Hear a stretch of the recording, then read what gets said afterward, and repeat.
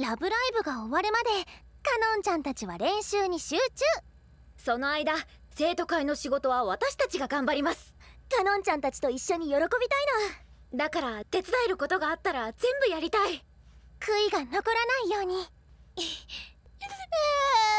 泣くのは早いよ。